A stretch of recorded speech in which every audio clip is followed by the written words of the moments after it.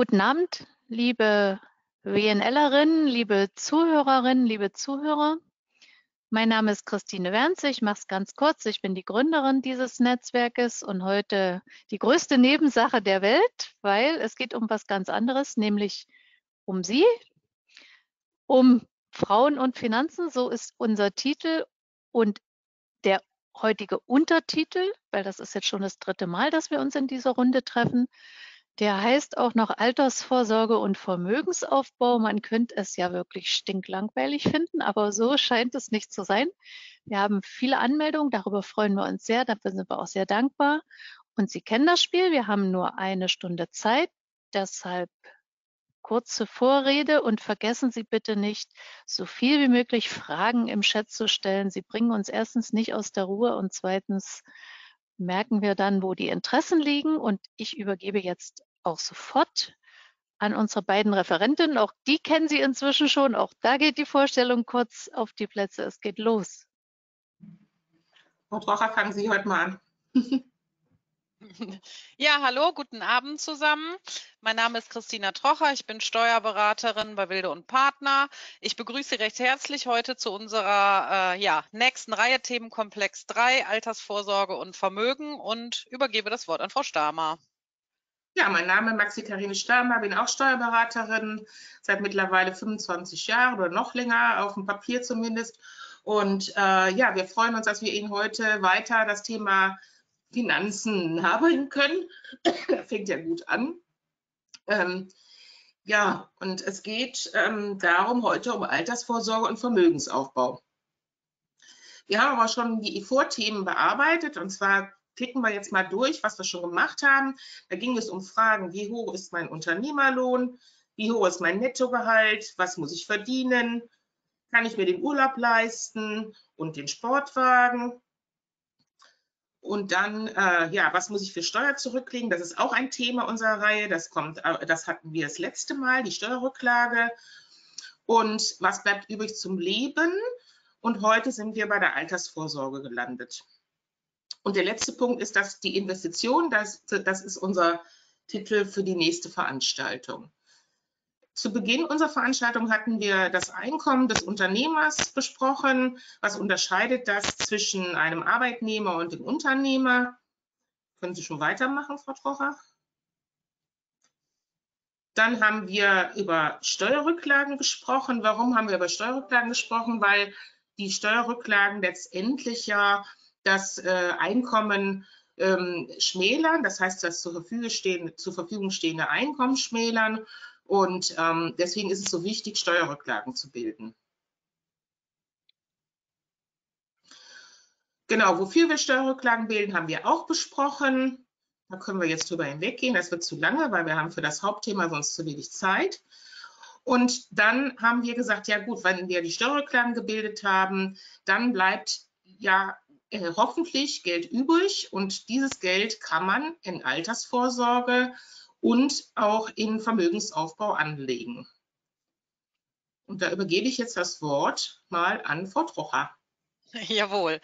Genau, ja, wenn wir das Thema Altersvorsorge ansprechen, steht natürlich als allererstes einmal die Frage, die sich jeder einmal stellen sollte, so in der beruflichen Laufbahn, was brauche ich? Damit ähm, ja, wollten wir einmal anfangen. Das heißt, ich muss natürlich früh genug dran denken, ähm, was brauche ich denn später im Alter mal? Das heißt, äh, es empfiehlt sich einmal zu schauen beim ähm, jährlichen Beitrags- und Leistungsspiegel vom Versorgungswerk beispielsweise, was bekomme ich denn später mal für eine Rente? Was wird mir da vorausgesagt? Dann erhalte ich da den Betrag und ähm, dann ist natürlich ganz wichtig, dass ich auch mal ganz offen und ehrlich mit mir umgehe und sage, was brauche ich denn im Alter? Also das heißt, wie viel Geld muss ich monatlich zur Verfügung haben, um dann auch noch meinen Lebensunterhalt, den ich mir vorstelle, ähm, so leben zu können oder finanzieren zu können, wie ich es gerne hätte? Ähm, Habe ich noch Kredite, die abbezahlt werden müssen?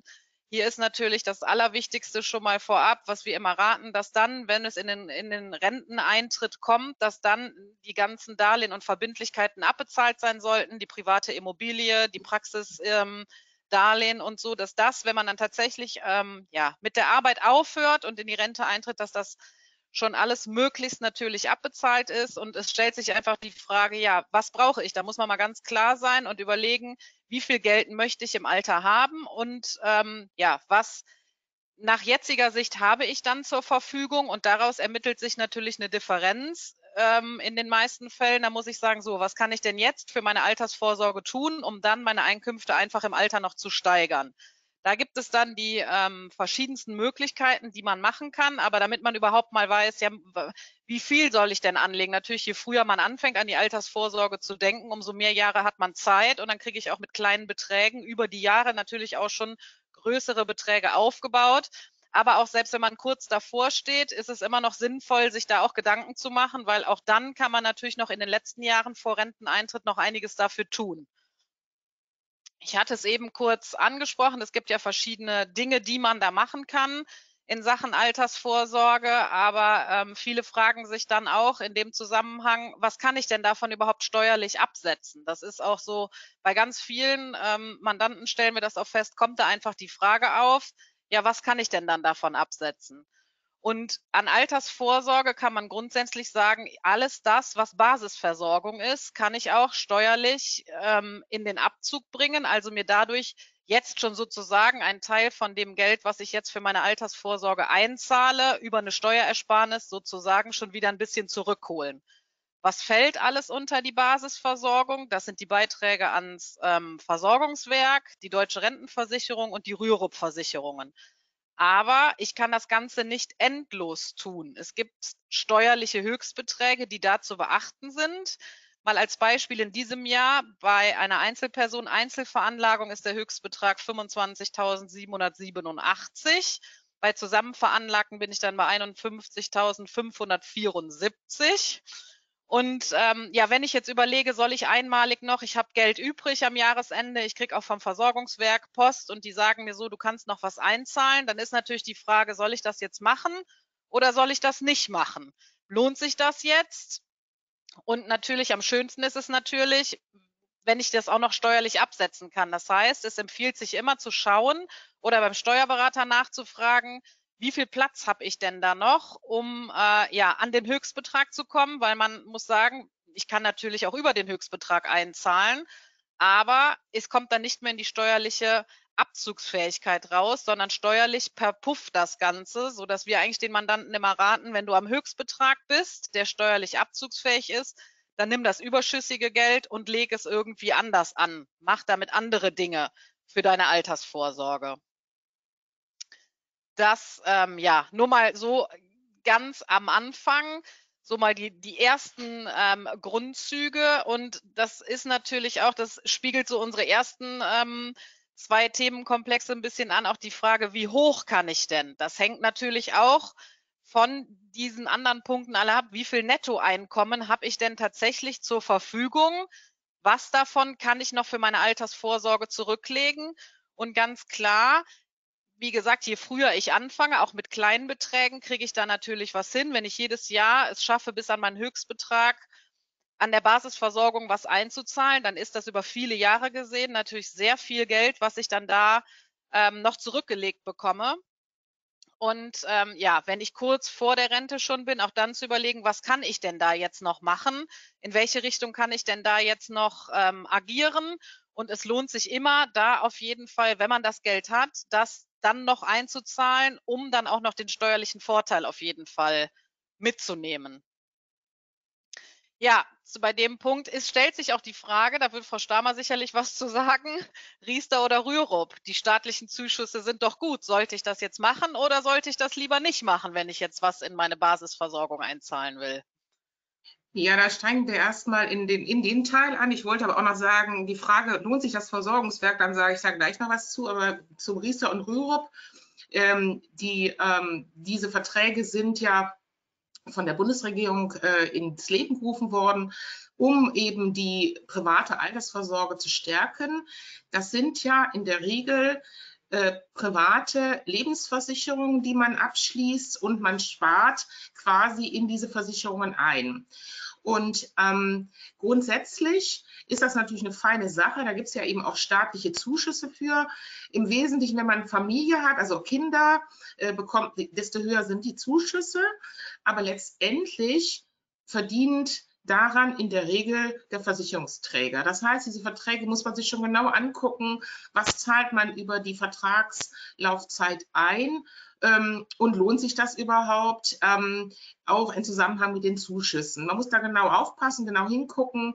Ich persönlich bin kein Freund der, dieser Verträge, weil in diesen Verträgen immer auch sehr viele Provisionen eingebaut sind der Versicherungsträger. Aber es gibt auch Verträge, wenn zum Beispiel Fonds ähm, es gibt so Fondssparverträge über äh, Rürup und Riester. Die sind dann wieder gut, also genau hingucken äh, und dann von Fachleuten prüfen lassen. Das ist die eine Frage. Das andere war nochmal, steht ja auch hier, lohnt sich Einzahlung ins Versorgungswerk oder eben auch in die deutsche Rentenversicherung. Ähm, bei der deutschen Rentenversicherung sehe ich das so, dass die natürlich ist eine staatliche Rentenversicherung, die Wirtschaften, das ist ja eine, eine Umlageversicherung. Insoweit würde ich davon nicht, also würde ich nicht unbedingt dazu raten. Im Versorgungswerk passiert aber Folgendes. Das Versorgungswerk hat in der Vergangenheit zumindest ganz gute Anlageberater oder Anlagen gemacht. Und die machen eigentlich im Versorgungswerk das, was man auch privat machen sollte, nämlich es in verschiedenen Vermögenswerten anlegen. Also Immobilien, Aktien, Fondssparverträge und so weiter. Da sitzen wirklich auch äh, Berater, also Finanzberater, die das Geld bis dato sehr gut angelegt haben, sodass sich eine Einzahlung ins Versorgungswerk aus meiner Sicht, wenn man die Höchstbeträge noch nicht erreicht hat, auf jeden Fall lohnen. Ähm, ja, und wenn wir sagen, wie hoch kann ich, das ist ja die nächste Frage, da hat die Frau Trocher schon was gesagt, da, das, das knüpft jetzt wieder an die Veranstaltung, unserer vorigen Veranstaltung, wie hoch kann ich?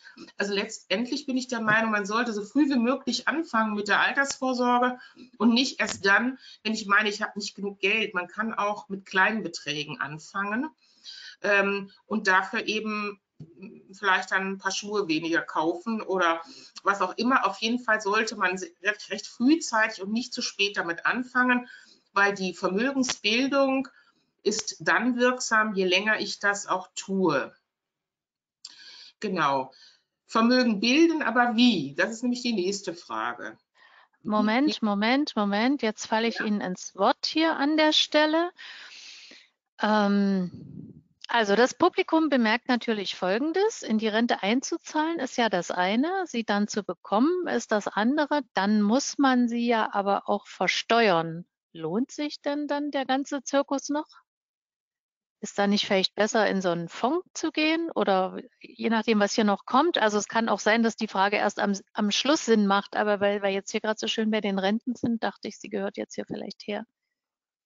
Also das, also das Versorgungswerk ist ein Teil der, der, ähm, der Altersvorsorge, nur ein Teil.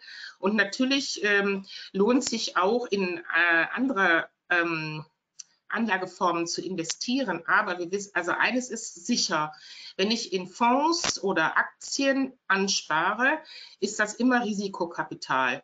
Und im Versorgungswerk ist das auch erstmal gut angelegt. Ja? Deswegen empfehle ich das, dass man das so machen sollte, wenn man entsprechend Gelder übrig hat. Und die Fondsgeschichte, das ist das, was ich eben gesagt habe, sollte man so früh wie möglich anfangen. Also auch in jungen Jahren. Und wenn man nur 100 oder 150 Euro anspart, machen übrigens auch sehr viele für ihre Kinder oder eben auch wenn man jung noch ist, auf jeden Fall Geld in Fonds ansparen. Jetzt kommt wahrscheinlich die Frage, welche. Ähm, das ist ähm, ja sehr schwierig zu beantworten. Der Markt ist da sehr breit. Und es gibt, ähm, da war im letzten Mal auch schon eine Anfrage, wie, wo kann ich mich da orientieren? Und zwar gibt es da zum Beispiel eine ähm, eine, äh, äh, gibt es verschiedene Fonds, die im Moment weltweit arbeiten. Es gibt Mischfonds, zum Beispiel bei Flossbach von Storch. Ähm, es gibt ähm, MDAX-Fonds, aber letztlich sollte man sich orientieren. Es gibt eine, eine Plattform, da wurde letztes Mal nachgefragt, die heißt www.justetf.com.de. Ich wiederhole das nochmal, justetf.com.de und da kann man sich auch auf dem Fondsmarkt orientieren. Der Steuerberater selbst ist natürlich kein Anlageberater. Also ich werde niemals einem Mandanten irgendwas empfehlen, weil auch die Fondsansparung ist immer Risikokapital. Das heißt, kann durchaus sein, dass der Fonds irgendwann mal abstürzt. Deswegen, äh, hier ist es so, die Fondssparung ist immer auf lange Sicht mindestens fünf Jahre aus meiner Sicht. Also mal kurzfristig in Fonds anlegen, bringt am Ende nicht viel. Also das heißt, das ist immer langfristig gedacht. Und das Versorgungswerk, wie gesagt, das ist eine sichere Anlage. Hier habe ich auf jeden Fall eine höhere Rente. So, ich hoffe, dass das die Frage ja beantwortet wurde. Ein Punkt fällt mir dazu noch ein. Das ist ja auch ähm, oft so oder hoffentlich so, wenn man jetzt gut verdient. Ich bin im Spitzensteuersatz, dann kriege ich natürlich, wenn ich jetzt nochmal, ich sag mal 10.000 Euro, habe ich noch Luft bei der, bei der Basisversorgung im Versorgungswerk, die zahle ich da jetzt einmalig ein. Bin im Spitzensteuersatz, kriege ich ja darüber, sagen wir mal 4.200 Euro, äh, kriege ich über die Steuer quasi zurück, sodass mich das Ganze nur irgendwie 5.500 netto, sage ich mal, kostet mit der Steuersparnis. Und wenn ich später in Rente bin und meine Rente aus dem Versorgungswerk bekomme, die natürlich durch die Einzahlungen jetzt hochgepusht habe, ist es aber ja in den meisten Fällen so, wenn ich sonst nicht noch großartig Einkünfte habe, dass ich später bei Versteuerung der Rente aber in einem deutlich niedrigeren Steuersatz bin. Insofern ähm, ja, hat man dann hier natürlich auch nochmal den Steuervorteil, dass ich jetzt im Spitzensteuersatz mir da die, die, ja, die hohe Steuererstattung mithole und Liquidität hole. Und ich kann natürlich auch wenn ich es extrem betreibe, sage, das, was ich jetzt über die Steuer von der Einzahlung zurückbekomme, in meinem Beispiel circa 5.500 Euro, nehme ich und packe die wiederum noch in eine andere ähm, Altersvorsorgeform rein, sodass sich das eigentlich steuerlich ähm, ja, ganz gut und positiv darstellt. Ja, also wie gesagt, also wichtig Moment, ist, dass danke für die Ergänzung. Ich werfe hier schnell noch etwas ein vom Chat, nämlich es gibt eine Webseite finanztipp.de, sagt der Chat. Mhm. äh, vielleicht ist auch das finanztipp.de äh, mhm. ein Hinweis für die, die sich zum Thema ETFs weiter informieren wollen. Danke Jetzt in den Chat. Danke. Ja. Danke. Ja, zu dem Thema jetzt mit den, mit den Anlagen, anderen Anlageformen, also wie Aktien, Fonds ähm, und vielleicht auch noch in, in, in irgendwelche Rohstoffe, da muss man sich aus meiner Sicht mit diesem Thema auch beschäftigen, grundsätzlich, wenn man es selber macht. Also es gibt die Möglichkeit, es selber zu machen. Oder Sie fragen Ihren Bankberater von Ihrer Bank, wobei die Bankberater von Ihrer Hausbank in der Regel die Produkte anbieten, die natürlich die Bank anbietet. Das heißt, in der Regel sind diese Produkte eingeschränkt und wir haben nicht den offenen Markt. Ja? Wenn ich mich aber im offenen Markt bewegen möchte, dann muss ich mich mit diesem Thema beschäftigen und zwar auch ziemlich zeitintensiv und nicht einfach mal so und ich mache mal, weil ansonsten ähm, ist das ja, weil das ein sehr volatiler Markt ist. Das heißt, diese Kurse, wenn ich in Direktaktien zum Beispiel anlege, die schwanken ja auch. Aber vielleicht gehen wir noch mal zurück auf das Thema, äh, wenn ich, wenn ich äh, Vermögensanlage mache. Also wir haben einmal jetzt abgefrühstückt die Riester- und Rürup-Verträge und Einzahlungen nachträgliche oder bis zum Höchstbetrag im Versorgungswerk. So, und wenn wir dann noch halt, wenn wir dann Geld übrig haben, dann wählen wir weiter oder sparen weiter an in unterschiedlichen Vermögensarten. Und die stehen auch hier in, der, in, der, äh, in unserer Präsentation. Ähm, das ist die sogenannte Mehrsäulentheorie. Das heißt, meine, meine Altersvorsorge sollte eben auf mehreren Säulen aufgebaut sein, unter anderem eben die Rente, die ich anspare. Dann haben wir das Thema Immobilien. Auch ein sehr schwieriges Thema, aber da, da erzählen wir uns Ihnen gleich noch was dazu.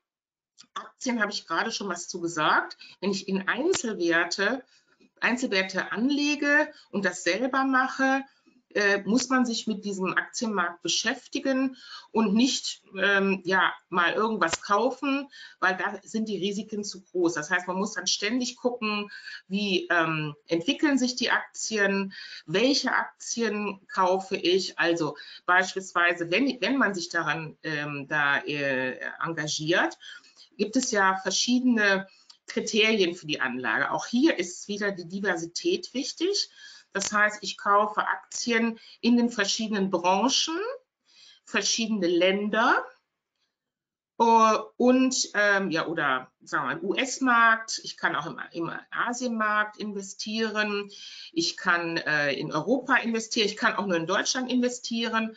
Das heißt, die, dieser Markt ist ja sehr breit und ähm, auch hier, wenn ich mich da engagiere, empfehle ich immer, dass man wirklich sich sehr breit aufstellt in den verschiedenen Märkten. Letztendlich, wie gesagt, sind wir als Steuerberater keine Anlageberater und dafür gibt es Fachmenschen, die heißen entweder Bankberater bei ihrer Hausbank oder es gibt private Anlageberater und Honorarberater. Private Anlageberater arbeiten auf Provisionsbasis und wollen natürlich für die Vermittlung ihrer Produkte äh, bekommen die eine Provision. Auch das ist schwierig. Also wenn Sie sich einem Anlageberater anvertrauen, ähm, wissen Sie nie, verkauft er Ihnen wirklich auch ein sehr gutes Produkt oder nur im Sinne seiner Provision. Da muss man sehr großes Vertrauen zu haben.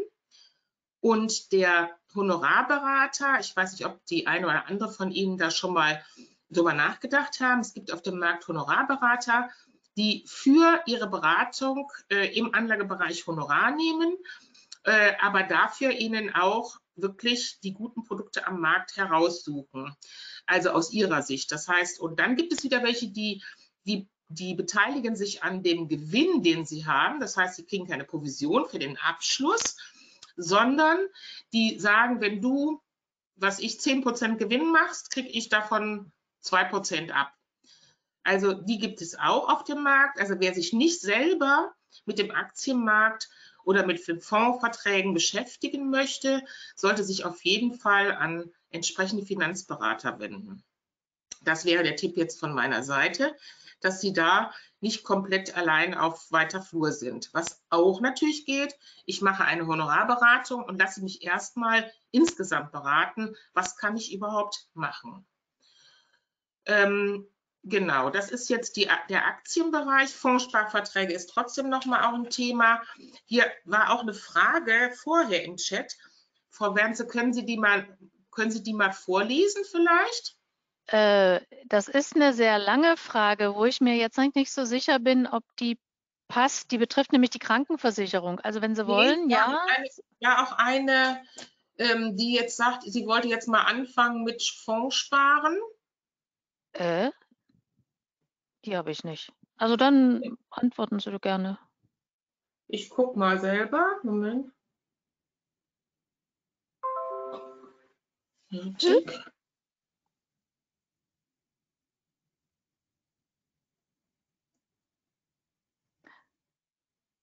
Na, wollen wir erstmal weitermachen? Ja, wir machen erstmal weiter. Mhm. Genau. Ähm, ja, zu dem, ich, wir, wir, wenn dazu keine Fragen sind, würde ich jetzt noch mal, also was auch noch, was auch auch noch hier steht, ist Gold und andere Rohstoffe. Das sind natürlich auch Anlageformen, mit denen man sich besser äh, fach, fachfraulich beraten lässt, muss man sozusagen. Denn auch das ist ein Markt, also Gold insbesondere, habe ich jetzt gerade auch wieder einen aktuellen Artikel gelesen. Im Moment ist der Run auf Gold unheimlich groß. Das heißt, das Gold, denkt man, das ist ja auch unheimlich wertig. Da habe ich was, so einen Goldbarren in meinem Tresor und ähm, das, das, das verliert nicht an Wert. Das ist aber weit gefehlt. Gerade Gold ist extrem volatil. Volatil heißt also sehr schwankend. Im Moment sind die Goldpreise sehr hoch. Das heißt, wenn man jetzt Gold kauft, kauft man sehr teuer. Und Aktien im Übrigen kauft man im Moment relativ preiswert. Die Aktienkurse sind aufgrund der Kriegssituation ähm, gerade nicht so gut. Das heißt, es gibt den Käufermarkt, wenn, wenn die im Moment was niedriger sind, ist es gut einzusteigen. Aber dennoch ist es immer ein Risiko, in Aktien einzusteigen. Das muss jedem klar sein, weil hier habe ich eben äh, starke Schwankungen im Markt. Ähm, ja, was wir, was wir auch noch haben, ist natürlich, was im Moment einen großen Run hat, sind die Immobilien. Ähm, auch hier vielleicht dazu, ähm, die sind im Moment ja auch sehr teuer überall. Wenn ich gute Immobilien kaufen möchte, sind die sehr teuer, gerade in Großstädten. Ich habe zum Beispiel einen Mandant, der hat aber zum Beispiel in einer kleinen Mittelstadt, also Kassel, ist ja nicht ganz so groß gekauft, hat eine super Immobilie, die rechnet sich richtig gut. Da komme ich auch drauf, wie rechnet man denn Immobilien? Wann sind die denn gut? Frau Trocher, wann sind Immobilien gut? Also ich sag mal, ja klar, ähm, die meisten Mandanten gehen eigentlich, bei uns geht es ja immer so los, die überlegen, oh, ich habe jetzt Geld übrig und die sagen dann vielleicht auch, okay, auch diese Mehrsäulen-Theorie im Kopf, ich möchte nicht alles auf irgendwie nur in meinem Depot anlegen oder nur ins Versorgungswerk packen, ich will mich da auch ein bisschen breiter aufstellen und überlegen, dann Immobilie zu kaufen. Und ähm, ja, wie Frau Stamer schon sagte, im Moment sind die Preise ja oder die letzten Jahre schon absolut explodiert. Und dann fangen die Mandanten auch schon mal an und sagen, gut, wenn ich mir das jetzt hole, die wollen natürlich am liebsten vielleicht auch noch steuerlichen Vorteil aus der ganzen Vermietungssache dann holen, wenn es jetzt dann auch als Vermietungsobjekt gedacht ist und nicht als eigene Immobilie. Und dann fangen wir immer schon mal an zu rechnen und sagen, gut, was haben Sie denn da für eine Miete? Und äh, was, welche Kaltmiete habe ich und was kann ich dagegen für Kosten ähm, absetzen. Es macht das Ganze natürlich attraktiver, wenn da ein paar Jahre auch ein Verlust rauskommt und ich so dann entsprechend noch meine Steuererstattung mit dazu bekomme. Ähm, um das dann auszurechnen, natürlich einmal die Miete, die Kaltmiete wird angesetzt. Dann, wenn ich es nicht zu 100 Prozent ähm, aus Eigenkapital bezahle, sondern auch noch einen Kredit aufnehme, kann ich die Zinsen entsprechend noch steuerlich mit absetzen. Und dann kommt die Abschreibung noch mit dazu. Bei normalen Wohnimmobilien habe ich da zwei Prozent pro Jahr auf den Gebäudewert. Das heißt, ich muss meinen Kaufpreis erstmal ein bisschen auseinanderrechnen. Was ähm, ja, ist denn der Wert für das Gebäude und was ist der Wert für den Grund und Boden, den ich da irgendwie bei der Eigentumswohnung oder dem Mehrfamilienhaus oder dem Einfamilienhaus, was auch immer, damit bezahlt habe und was kommt raus? Das rechnet man sich einmal aus und schaut mal, was habe ich denn da tatsächlich übrig. Auf der anderen Seite muss ich natürlich auch schauen, wenn ich dann noch einen Kredit aufgenommen habe, was zahle ich noch für eine Tilgung? Wir hatten diese Themen ähm, Kredite, Zinsen und so weiter auch schon bei einer der letzten Veranstaltungen. Ich muss natürlich den Kredit dann bedienen. Viele sagen auch, ich mache so und so viel Prozent von meinem Eigenkapital stecke ich mit in die Immobilie rein, um die zu kaufen. Aber ähm, ein Kredit, die Kredite waren auch ja recht günstig. Die Zinsen steigen ja aktuell wieder, aber ich konnte ja relativ günstig ähm, oder kann es immer noch im Vergleich zu vor einigen Jahren mir da noch die Kredite aufnehmen, aber ich muss natürlich trotzdem das Ganze noch abbezahlen. Und das ist natürlich ähm, auch ein Punkt, den man sich immer mit angucken muss. Und dann natürlich, ja, wie viel Miete kriege ich denn über die Jahre? Was habe ich denn da eigentlich für eine Rendite nachher in der Immobilie? Lohnt sich da, mein Geld reinzustecken? Was kommt denn dann da, ähm, ja, am Ende für mich raus? Es gibt da ja jetzt auch nicht genau die Faustformel. Man muss einfach gucken, wie Frau Stamer sagt, es gibt Immobilien, die laufen Bombe, sage ich mal. Es gibt auch andere Immobilien günstig, da muss ich noch viel reinstecken, die renovieren, kriegt die aber auch super vermietet.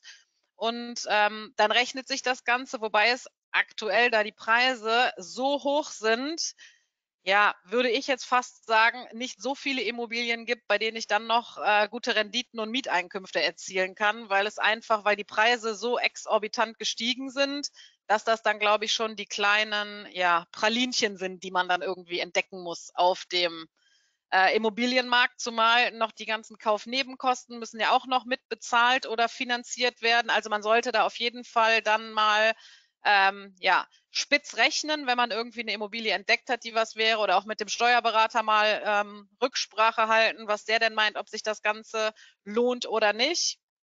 Aber das gibt es natürlich und vor vielen Jahren haben natürlich auch äh, ja ganz viele auf das äh, ja auf das Anlageprodukt Immobilie gesetzt. Frau Stamer, haben Sie noch was äh, ja, zu also, ja das, das, ist richtig. Das heißt, äh, letztendlich äh, bei den Immobilien wurde, äh, also wenn ich eine Immobilie in den 90er Jahren gekauft habe zum Beispiel und die heute bewerte, ist das eine wahnsinnige Wertsteigerung. Ja? Ähm, das ist äh, teilweise das, oder es ist das Zweifache von meinem Kaufpreis.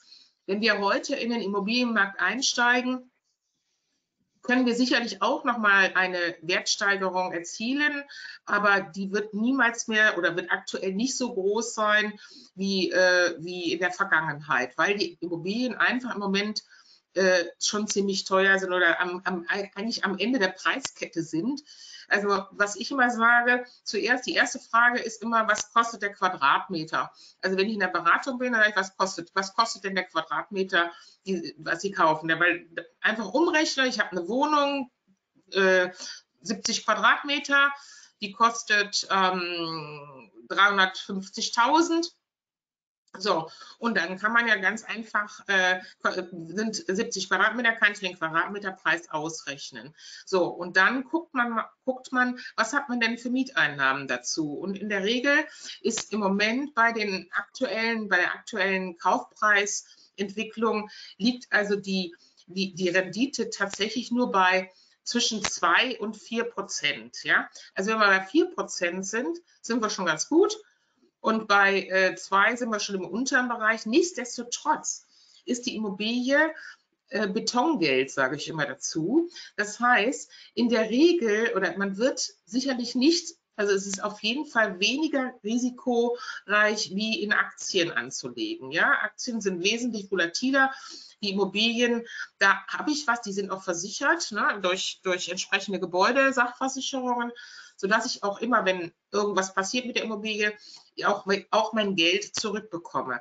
Es gibt natürlich auch bei Immobilien, wie in allen anderen Anlageformen, weit auch Risiken. Zum Beispiel, da wird dann in der Nähe plötzlich irgendein Chemiewerk gebaut, ja, worauf man keinen Einfluss hat. Und schwupps ähm, äh, ist der Wert einer Immobilie äh, vermindert. Also auch da können wir gehen wir natürlich Risiken ein. Was wir natürlich auch sagen müssen, ist bei den Immobilien, ist das Eigenheim, ist übrigens auch eine Form der Altersvorsorge. Eine ganz wichtige, denn, das hatte die Frau Trocher ja auch schon gesagt, wenn alles bezahlt ist am Ende, ne, das, wir empfehlen ja, dass alle Schulden bezahlt sind und insbesondere die Schulden des Eigenheims sollten spätestens dann mit Eintritt ins Rentenalter bezahlt sein.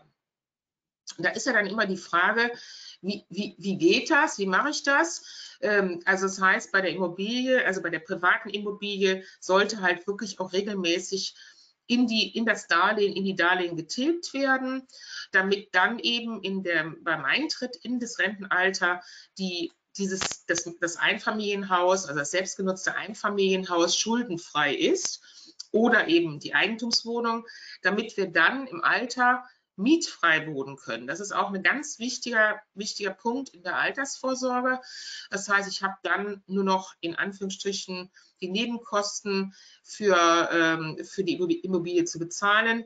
Aber die muss ich ja als Mieter auch bezahlen. Also von der Seite habe ich auf jeden Fall dann, wenn ich mietfrei wohne, ist das auch schon ein ganz wichtiger Punkt in dieser Mehrsäulentheorie ähm, und nicht nur eine vermietete Immobilie. Das war mir auch nochmal wichtig zu sagen. Ja, ansonsten haben wir. Fällt da noch ein Punkt ein, wenn ich einmal ja. rein. ähm, ich habe das auch bei äh, manchen Mandanten, die haben auch die eigene Immobilie, ähm, was früher mal öfters gemacht wurde mit ähm, ja, Lebensversicherungen, Rentenversicherungen äh, rückgedeckt sozusagen. Und ähm, es taucht jetzt immer mehr auf, dass die Versicherungen aber nicht so laufen, wie man das vielleicht vor 20 Jahren mal sich erhofft hatte, als man das Ganze abgeschlossen hatte.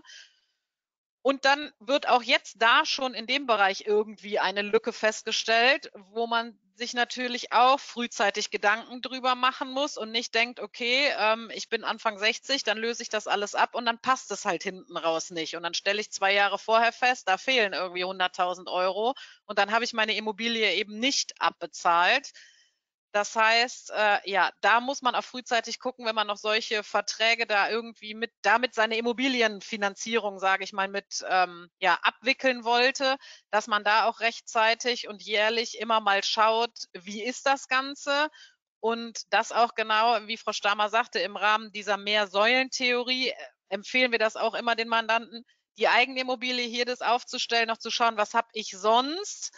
Ähm, wir hatten es ja auch schon mal angesprochen, Gut ist immer, wenn man auch eine Vermögensübersicht für sich erstellt. Die meisten Banken fordern die ohnehin immer mal an, aber mit diesen Formularen, die füllt man ja oft nur aus und hat dann für sich trotzdem irgendwie nicht so den richtigen Überblick. Ist es ganz gut, wenn man sich das übereinander listet, auch mal schaut, wie stehen die Versicherungen oder die Fonds in so einer Excel-Tabelle, sage ich mal, nebeneinander. Wenn man natürlich parallel dazu noch seine Kredite irgendwie auflistet, dass man einfach auch einen Überblick hat und immer sieht, wo entstehen vielleicht Lücken, wo kann ich noch was tun oder kommt es ganz gut hin und das passt am Ende einfach alles. Frau Wernze, Sie haben eine Frage sicherlich. Ich hake in die Immobilien ein. Also der theoretische Fall, äh, ich habe jetzt 5000 Euro übrig. Ich sage das jetzt mal so despektierlich. Und ich habe eine Praxisimmobilie, ich habe eine private Immobilie und ich habe eine vermietete Immobilie. Welche tilge ich denn zuerst? Ich kann es mir denken aus dem, was Sie gesagt haben. Ich wollte es jetzt wirklich nur noch mal so plakativ hier ansprechen, weil man ja vielleicht manchmal vor der Frage steht, wo stecke ich denn hier mal jetzt das übrige Geld rein und warum ist das so? Frau Trocher, ich frage Sie jetzt einfach mal. Immer zuerst das private Entschulden. Also aus mehreren Gesichtspunkten. Also wenn Geld übrig ist und auch Sondertilgungen möglich sind, immer alles in die, in die private Immobilie zuerst rein. Punkt eins, weil ich die Zinsen in der Praxis einfach noch steuerlich absetzen kann und ich kann sie auch bei der vermieteten Immobilie steuerlich absetzen. Meine Zinsen für mein privates Eigenheim sind steuerlich nicht relevant und laufen ins Leere und zum anderen, damit ich einfach meine private Immobilie schnellstmöglich auch abbezahlt habe, um, wie Frau Stammers sagte, im Renteneintrittsfall einfach mietfrei zu wohnen. Oder im besten Fall schaffe ich es schon Jahre vor Renteneintritt und habe meine Immobilie schon mal entschuldet und bin ja da raus aus der Nummer und kann natürlich auch die Beträge, die ich da dann sozusagen spare, weil ich da keine Tilgung mehr habe, in andere Altersvorsorgeprodukte stecken oder dann sagen, ich entschulde jetzt mal meine Praxisimmobilie oder meine vermietete Immobilie, um dann auch im Rentenalter, sage ich mal, aus der vermieteten Immobilie die Mieteinkünfte zu haben, ohne dann noch ein Darlehen tilgen zu müssen. Aber bei den drei Auswahlpunkten definitiv zuerst die Privatimmobilie. Ja, kann ich nur beipflichten. Haben Sie recht, Frau Sind wir einer Meinung? Ja, sind wir voll uns einer Meinung, genau. Was ich aber auch noch ein, ähm, wo ich einmal eingrätschen wollte, war noch zu dem Thema mit dem Darlehen, was Sie eben gesagt haben. Wenn ja zum Beispiel da so eine Lücke ist, dass, dass auch die Möglichkeit besteht, ähm, dann, wenn nach zehn Jahren Laufzeit eines Darlehens, in der Regel bei Immobilien, kann ich dann auch das Darlehen verändern. Das heißt, ich kann dann auch hingehen und sagen, okay, äh, das mit der Versicherung, das läuft nicht so gut. Ich tilge jetzt in dieses Darlehen, in dieses private Immobiliendarlehen rein und nehme dann die Versicherung am Ende, um dann ähm, beispielsweise noch andere Kredite wie in der Praxis zu tilgen. Ja, das heißt, ich ähm, da, da, laufen dann die Zinsen weiter in der Praxis, im Praxisdarlehen. Und bei der privaten Immobilie tilge ich dann auch, tilge ich schon frühzeitig rein, weil, wie Sie gerade gesagt haben, ja die Zinsen nicht abzugsfähig sind. Ja, also auch nochmal eine Gestaltung, zu sagen, okay, dann verändere ich das, die Darlehenssituation und tilge dann in die private Immobilie rein. Also die Verträge sind in der Regel zu ändern. Die Bank muss dann, ähm, gibt dann quasi die Lebensversicherung insoweit frei, die hinterlegt die dann nur noch als Sicherheit. Und ähm, ansonsten tilgen sie das äh, private Immobiliendarlehen. Das ist eh nochmal eine Empfehlung, die ich Ihnen hier an dieser Stelle auf jeden Fall warm ans Herz legen möchte, weil da sollte man auf jeden Fall schauen, was hat man für Kreditverträge und wie wird getilgt. Also man sieht auch bei dem Punkt eigentlich, ich glaube, ich wiederhole mich, aber wir haben es bei den anderen beiden Veranstaltungen auch schon gehabt, sowohl was ist mein Unternehmerlohn, also ja, genau schauen, was habe ich hier, dann das Thema Steuerrücklagen, bilden, was wir beim letzten Mal hatten. Und heute. Es empfiehlt sich also tatsächlich immer irgendwie einen Überblick über all das zu haben, was ich da so habe, wie sich die Werte entwickeln, welche Kredite auslaufen, wie Frau Stamer das auch sagte, wenn die Zinsbindungen nach zehn Jahren auslaufen, dann kann ich nochmal neu schauen, wie kann ich das machen, ich kann es verändern, die Tilgung hochsetzen, runtersetzen, ne, wie, je nachdem, wie es dann gerade in der Lage passt. Und ähm, ja, es ist dann immer gut, wenn man das alles irgendwie in einem Überblick hat, wenn der Steuerberater eine Vermögensübersicht erstellt. Ich erstelle mir die selber, mein, mein Anlageberater oder wen ich da habe, hilft mir dabei oder hält mich da auf dem Laufenden, weil man verliert natürlich ansonsten über die vielen Jahre irgendwann vielleicht auch mal den Überblick und weiß gar nicht mehr genau, was habe ich eigentlich wo und wo zahle ich was ein und passt es am Ende oder passt es nicht. Deswegen ist es da schon gut,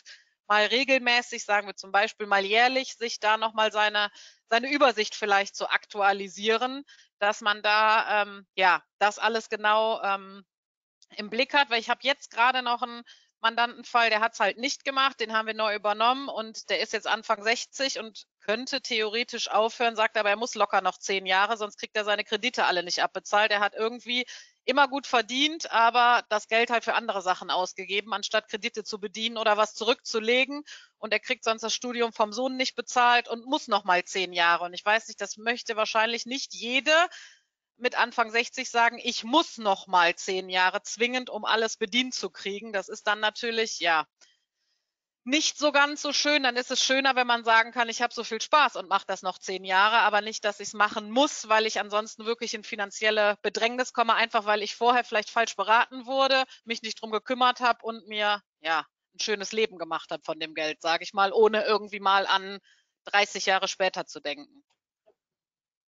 Ja, was mir auch noch dazu einfällt, ist ja, ähm, dass vielfach in dieser, in dieser, in dieser Geld- oder Mittelverwendungsrechnung, ob jetzt für Altersvorsorge oder für andere Investitionen, muss auch immer eingeplant werden bei der Familie, dass ähm, eben, das haben Sie so im Nebensatz gesagt, dass die Kinder in die Ausbildung kommen. Und ähm, wenn die Kinder in die Ausbildung kommen, wenn sie in der Ausbildung gehen, verdienen sie ja Geld, aber wenn die ins Studium gehen, kosten die Kinder ja auch richtig Geld. Das heißt, ich muss entsprechend auch Liquidität zur Verfügung stellen, damit ähm, meine Kinder, damit ich das, meine Kinder entsprechend ähm, unterhalten kann. Und das vergessen auch viele. Ähm, wenn dann zum Beispiel fixe Verträge sind oder eben auch gerade mit Immobilien, das ist auch der Nachteil von Immobilien. Da habe ich natürlich keine, keine Flexibilität drin. Die kann ich nicht mal eben kurz verkaufen. Ja? Ähm, das ist auch der Unterschied zu Aktien oder Fondssparverträgen. Die sind eigentlich wie Bargeld. Das ist übrigens auch eine ganz wichtige Unterscheidung. Also bei der Immobilie habe ich mehr Sicherheit. Bei, der, bei, bei Aktien und Fondssparverträgen habe ich eigentlich Bargeld auf dem Konto. Wenn ich Pech habe, brauche ich das Geld aber gerade, wenn die Kurse unten sind. Wenn ich Glück habe, habe ich gewonnen. Wollten Sie eine Frage stellen, Frau Bernse? Hm, ich überlege gerade, also jeder Unternehmer, sprich alle die, die hier heute zugeschaltet sind, die gucken ja sicherlich möglichst regelmäßig in ihre betriebswirtschaftlichen Auswertungen. Davon gehen wir jetzt alle mal aus, sonst würden die ja nicht hier zuhören.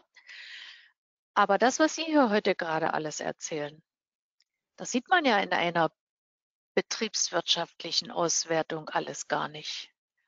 Und Jetzt interessiert mich mal in Ihrer Praxis oder wie behalten Sie da den Überblick? Weil wenn die Mandanten Ihnen das nicht sagen, können Sie es ja nicht wissen. Und ähm, wie, wie läuft das so? Wie, sagen Sie mir aus der Praxis mal ein Beispiel, wie es läuft oder mal ein Beispiel, wie das von eben, wie es nicht läuft, wenn ich dann mit über 60 feststelle, ich will jetzt nicht noch arbeiten, sondern ich muss. Das ist auch nicht so ein schönes Gefühl. Wie ist der Idealfall? Der Idealfall ist der Idealfall ist eigentlich, der Mandant ist bei uns. Wir sehen ja alles, was in der Praxis läuft. Die Darlehen sind ja automatisch aus der, aus der Buchhaltung zu erkennen. Und der Mandant gibt uns einfach auch alles, was er privat noch so hat.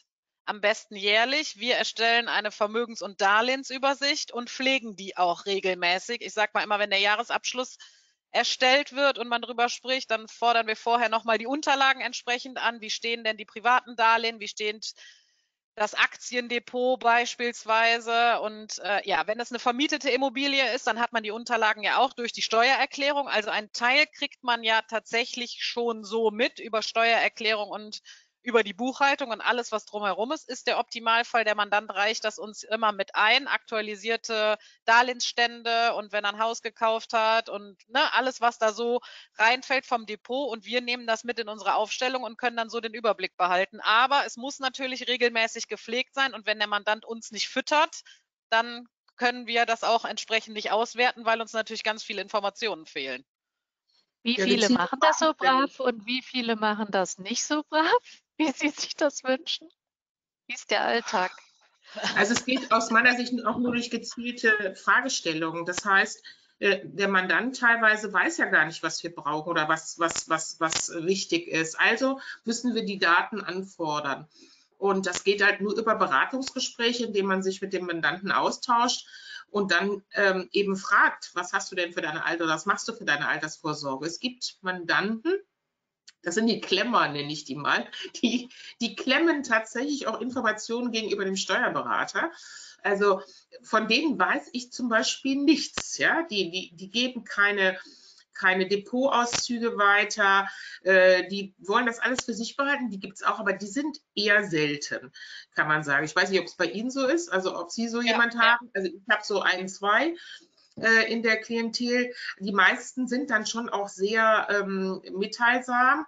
Und wenn man denen erklärt, warum das so ist, warum wir diese Fragen stellen und was für einen Sinn das macht, also ähm, dass wir auch wissen wollen, was die mit ihrem, also was die mit ihrem Geld machen. Also auf der BWA sieht man es nicht, aber ich sehe ja, wenn der Mandant hohe Privatentnahmen hat, ja, und ich weiß nicht, was er damit macht, dann ähm, greife ich dann zum Hörer und rufe den an. Ja, also er hat irgendwann hat er, nimmt er mal 50.000 vom Konto, außer, außergewöhnlich. Und dann frage ich den einfach, was haben Sie damit gemacht? Und bei manchen kommt raus, ja, ich habe da jetzt eine Immobilie angezahlt oder wie auch immer. Ähm, also das äh, geht nur durch aktive Beratung, muss man sagen, und aktive Nachfrage. Ne? Ja, und wenn die einmal gemerkt haben, man macht es, also wenn es dann einmal läuft, dann sind die meisten auch ja wirklich total froh, wenn man dann auch mal jährlich sagt, so, ich habe das aktualisiert, schick mir mal die Sachen und dann ne, alle deine aktuellen Stände und was du so hast und man geht da mal drauf ein und spricht das auch durch und sagt mal so, wir haben ja auch gesehen im Beitragsleistungsspiegel, die Rente wird so und so sein, was habt ihr denn noch gedacht, deine Immobilie äh, müsste ja, wenn es klappt, so und so fällig sein oder macht auch da nochmal eine Sondertilgung, dann bist du in drei Jahren durch. Also, dass man diese Themen, auch wie Frau Stamer sagt, einfach aktiv anspricht.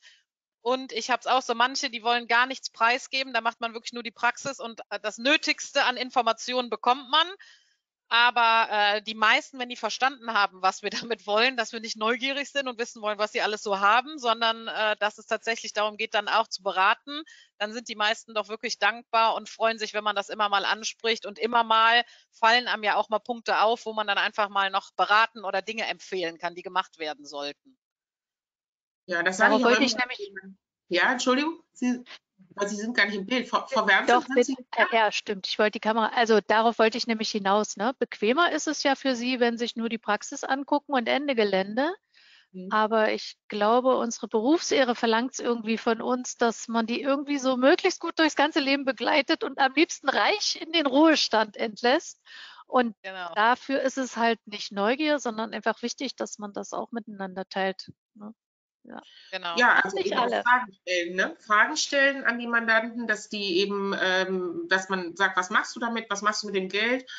Ähm, und dann kommen natürlich auch die Gespräche zustande in Zusammenhang mit dem, was wir jetzt gerade besprechen, was unser Hauptthema heute ist, Altersvorsorge. Das heißt, wenn ich mit dem Mandanten spreche und er sagt, ich habe jetzt da ähm, mir einen tollen Oldtimer gekauft, das ist das eine, oder er hat eben sich eine Immobilie gekauft ähm, und ähm, dann habe ich dann, in einem Fall war es tatsächlich so, da hatte er Geld vom, vom, vom Konto genommen und habe gesagt, was haben Sie denn mit dem Geld gemacht? Und dann hat er gesagt, ja, ich habe eine Anzahlung auf eine Immobilie gemacht. Und dann habe ich gesagt, es ist schön, dass Sie das gemacht haben. Wäre schön, wenn wir vorher darüber gesprochen hätten und ich hätte mir mal die Zahlen angeschaut.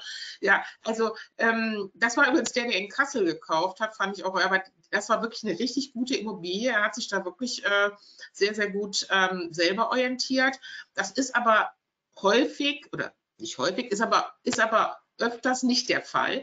Das heißt, die äh, Mandanten äh, aus Unwissen lassen sich auch schon mal ähm, ja halt schlechte Produkte aufschwatzen, ja, weil das ein guter Verkäufer ist, der da am Start war, ja, und dann wird das schön gerechnet und da sollte man auf jeden Fall, wenn man die Berechnungen hat, von einem Immobilienvermittler ähm, auf jeden Fall nochmal ähm, den Steuerberater drüber gucken lassen und der soll dann nochmal par parallel rechnen. Das ist ganz wichtig, weil wie gesagt, man kann es auch schön rechnen. Ne? Genau. Ja, was haben wir noch auf, dem, auf der Agenda heute? Wir hatten noch Fragen, Frau Wernze. Sollen wir die jetzt mal ein, einfügen? Also ich soll ich mal mit meiner Frage zur Krankenversicherung hier anfangen? Passt jetzt nicht so richtig zum Thema, aber wir machen es etwa mal trotzdem. Also der Chat ist der Meinung, ja. es gebe Tricks, so nenne ich das jetzt mal. Ähm, es gebe Tricks, um noch rechtzeitig aus der privaten in die gesetzliche Krankenversicherung zurückzukommen. Mhm. Wenn ja, welche? Oder ein Trick wird hier schon angeboten. Ich lasse mich mit 62 und 63 noch in einem MVZ anstellen. Gelingt mhm. mir denn dann noch der Absprung? Nein. Extrem schwer, wenn man über 55 ist. Also bis 55 geht das noch. Ab 55 ist das eine, das ist eine sogenannte Altershemmschwelle, nenne ich die mal, um wieder in die ähm, gesetzliche Versicherung zu kommen. Es gibt eigentlich nur einen Trick, ähm, den habe ich mir nochmal rausgesucht, weil es halt, also wenn ich jünger als 55 bin, einfach anstellen lassen, wo auch immer, ist das einfach. Wenn ich selbstständig bin, ähm, ist das, ähm, äh, ist das äh, nur dann möglich oder ist es auch nicht möglich? Also wenn ich über unter 55 bin, kein Problem anstellen lassen. So wenn ich über 55 bin, geht das nur, indem ich ähm, äh, mein Einkommen auf unter 450 Euro zum Beispiel runterschraube, mich in die Familienversicherung, wenn dann eine da ist, von meinem Ehegatten einschleiche, auf Deutsch gesagt, und dann bin ich in der gesetzlichen Versicherung wieder drin. Aber das heißt, dann darf ich eigentlich gar kein Einkommen mehr haben. Ja, dann funktioniert das. Aber nur dann natürlich, wenn mein Partner in der gesetzlichen Versicherung ist. Das ist ja auch in den wenigsten Fällen der Fall, wenn äh, jemand selbstständig ist. Es sei denn, die Frau oder der Mann ist angestellt im Unternehmen, dann ist er in der gesetzlichen Versicherung. Aber ansonsten ähm, funktioniert das tatsächlich ab 55 gar nicht. Also das ist zumindest das, was ich weiß. Es gibt bestimmte Berater, die ganz tolle Tricks haben, aber der einzige Trick, den ich kenne, tatsächlich auch aus einem Beratungsfall, der hat das nämlich genauso gemacht. Er war privat versichert, Frau gesetzlich versichert. Der hat im Prinzip, der hat sein, äh, sein Unternehmen ähm, quasi kurzfristig eingestellt, ja, und ähm, ist dann in die gesetzliche Versicherung seiner Frau reingerutscht. Das, das ist die einzige Möglichkeit, die funktioniert. Hat aber eigentlich, wie Frau Wernze, nichts mit Altersvorsorge zu tun, sondern nur mit der Gestaltung, dass ich aus der gesetzlichen Versicherung äh, rauskomme. Das hat der Gesetzgeber natürlich ganz bewusst auch so gemacht, weil ich habe natürlich in jungen Jahren geringere Beiträge in der privaten Krankenversicherung und später gehen die immer weiter hoch. Dann sind dann die gesetzlichen Beiträge vielleicht oder wahrscheinlich günstiger. Von der Seite her wollte das der Gesetzgeber vermeiden, dass man so trickst. Ähm, deswegen ist das, ja, das ist dann genau diese 55 Jahre Schwelle, haben die da eingebaut. Also das ist das, was ich weiß. Ja, ist Thema. auch mein Stand. ja. Genau. Also aufpassen. 55. Geburtstag kann steuerlich ein guter sein, wollen wir jetzt nicht drauf eingehen, kann krankenversicherungstechnisch aber ein schlechter sein. Das haben wir jetzt eben genauer gehört. Frau Trocher, ich habe jetzt noch eine Frage an Sie. Das Thema Immobilien hatten wir ja nun schon hoch und runter, links und rechts. Ähm, ist es jetzt ein Unterschied, wenn ich zum Beispiel meine Praxis in der eigenen Immobilie habe, ne? Mhm. Ob dann denkt man ja, Immobilie, Altersvorsorge, toll, prima, Praxis zu, Immobilie her, passiert nichts. Warum gestalten manche das so, dass der Ehemann oder die Ehefrau die Immobilie gehört und ich mich als Praxisinhaber da einmiete? Ja, spannendes Thema. Also über Immobilien könnte man, glaube ich, auch eine ganze Stunde sprechen. Wenn ich meine Praxis in der eigenen Immobilie habe, dann sind meine Praxisräume sogenanntes Betriebsvermögen und gehören mit zu meiner Praxis. Wenn ich dann die Praxis einfach zumache, dann ist es fiktiv, dass aus dem Betriebsvermögen Privatvermögen wird. Der gleiche Fall oder ähm, es tritt auch ein, wenn ich die Praxis mit Immobilie veräußere. Ich habe dann, wenn die Praxis in den eigenen Räumen ist, kein Privatvermögen mehr mit dem Vorteil im Privatvermögen, ich kann ja die Immobilie nach zehn Jahren steuerfrei veräußern und den Gewinn ohne privates Veräußerungsgeschäft sozusagen mir einkassieren. Habe ich aber die Praxis in meinen eigenen Räumen, bin ich im Betriebsvermögen und egal, ob ich die Immobilie veräußere oder den Laden dicht mache, sage ich jetzt mal, und die Immobilie in mein Privatvermögen geht und ich dann an den Käufer der Praxis oder auf einmal Wohnräume, was auch immer damit mache, dann wird der Wert, den die Immobilie dann hat, wie ein fiktiver Verkaufspreis angenommen. Und ich muss es versteuern und es unterliegt mit der Steuerpflicht. Ich habe also, egal ob ich die Immobilie jetzt schon 20, 30 Jahre besessen habe oder ob ich sie nur drei Jahre besessen habe, die Steuer tritt dann voll ein, weil ich da im betrieblichen Bereich und nicht im privaten Bereich bin. Das ist der Unterschied und das wollen natürlich viele umgehen und machen dann das angesprochene Modell. Ich habe die ähm, Praxis und meinem Ehemann gehört die Immobilie und er vermietet sie mir, weil dann hat er sie im Privatvermögen und kann sie steuerfrei verkaufen nach über zehn Jahren gut, wenn die Ehe hält. Wenn die Ehe nicht hält, kann das natürlich Dann schwierig werden. Habe ich andere und Probleme. und das oft genug erleben, dass die schöne, schönste Steuerkonstruktion nichts nützt, wenn der, wenn der Alltag über hinwegfegt. Ne? Jawohl. Ist das jawohl. so eine Gestaltung kann man machen, klar. Aber kann auch Birgt mal. natürlich auch Risiken, ja.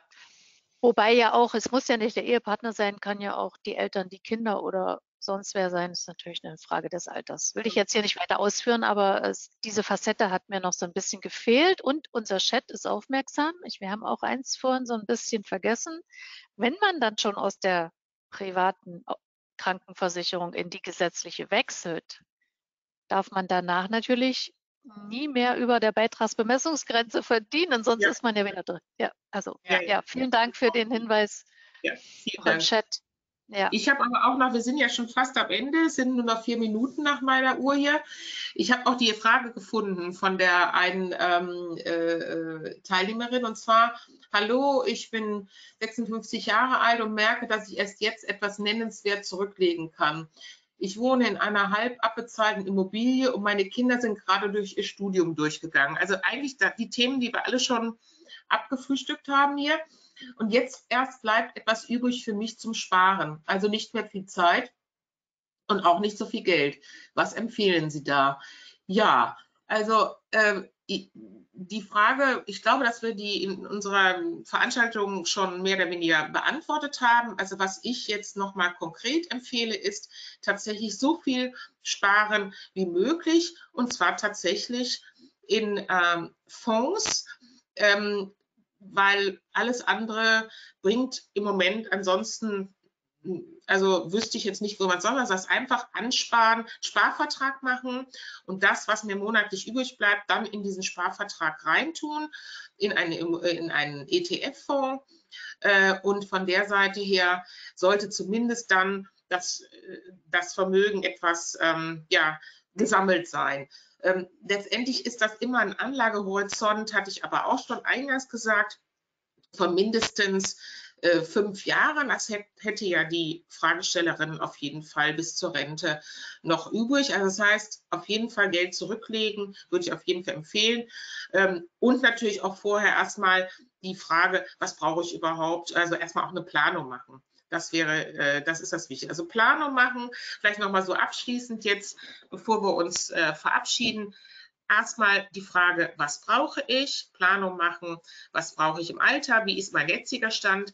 Ähm, wie kann ich mich entschulden? Und dann, ähm, wie hoch kann ich im Moment in meiner jetzigen finanziellen Situation Geld zurücklegen? Und dann natürlich genau, was sollte ich in die mehr Säulen, also verschiedene Säulen aufbauen, weil dann bin ich auf der sicheren Seite. Immobilien können äh, Risiko sein, Aktien können Risiken sein, Fondssparverträge. Das heißt, ich habe immer Risiken drin. Wenn aber eins nur abstürzt, bin ich immer noch, habe ich das andere noch. Und deswegen ist diese Mehrsäulentheorie so wichtig. Genau. Frau Torra, noch Ihr Wort zum Mittwoch. Ja, mein Wort zum Mittwoch auch abschließend, wie Frau Stamer das auch sagte. Ähm, ich sehe es genauso, also definitiv die Mehrsäulentheorie anwenden. Man kann ja auch verschiedene kleinere Sachen einfach stückeln, Immobilie entweder eine kaufen oder die eigene natürlich äh, rechtzeitig ähm, abbezahlen, sich auf jeden Fall einen Überblick verschaffen, was nach jetzigem Stand habe ich denn im Alter überhaupt an Geld zur Verfügung und auf der anderen Seite, wie viel brauche ich? Muss ich da noch was abbezahlen an der Immobilie? Muss ich noch Miete zahlen oder nicht? Und die Differenz ermitteln und dann nach der Mehrsäulentheorie das Geld irgendwie, was ich dann übrig habe, so auf zwei, drei Säulen verteilen, damit ähm, ja dann da nichts schief geht, ich auf der sicheren Seite bin und mir regelmäßig jährlich möglichst einen Überblick verschaffen, um da zu schauen, vielleicht kann ich ja auch im nächsten Jahr schon mehr zurücklegen und dann auf die ein oder andere Säule noch ein bisschen mehr draufpacken mit der Zeit. Und es ist nie zu spät. Also man kann auch noch kurz vorher anfangen, ist besser als gar nicht, wenn man noch nichts getan hat. Genau. Und ich setze jetzt noch eins drauf nicht die Inflation vergessen. Wenn man nämlich glaubt, man kommt im Moment mit 2000 Euro im Monat zurecht, ja. dann äh, kann das in fünf Jahren schon ganz anders aussehen. Und was das bedeuten kann, wissen wir ja jetzt gerade im Moment akut alle, aber auch in guten Zeiten vergisst man das ganz oft, dass 1000 Euro von heute nicht mehr 1000 Euro in zehn Jahren sind. Und ja. äh, das muss man halt auch bedenken. Und den Wettlauf gegen die Inflation zu gewinnen, ist schon eine Kunst. Ja, aber Bange machen gilt nicht. Wie Sie sehen, äh, es geht irgendwie allen so. Und das, was wir heute gehört haben, war aus dem Alltag, für den Alltag, für den, für jeden von uns zu verwerten, denke ich mal. Vielen lieben Dank an Sie beide.